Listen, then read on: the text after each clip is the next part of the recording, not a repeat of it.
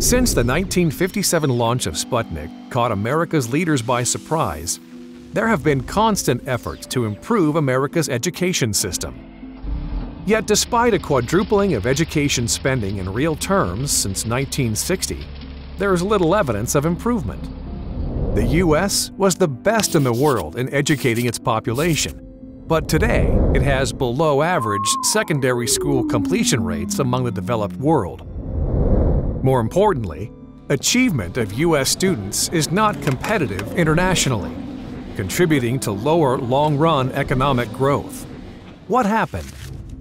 We've been spending the money in areas that do not drive improvement in student outcomes, like reducing class sizes and increasing teacher salaries, regardless of teacher effectiveness. How money is spent is more important than how much is spent.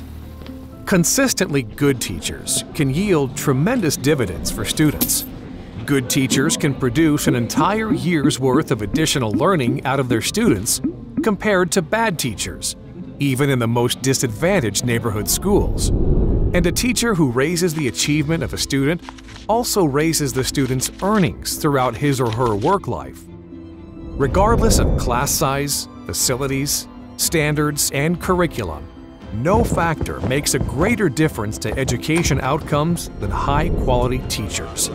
Therefore, education policy should put a much higher priority on producing, rewarding, and retaining good teachers.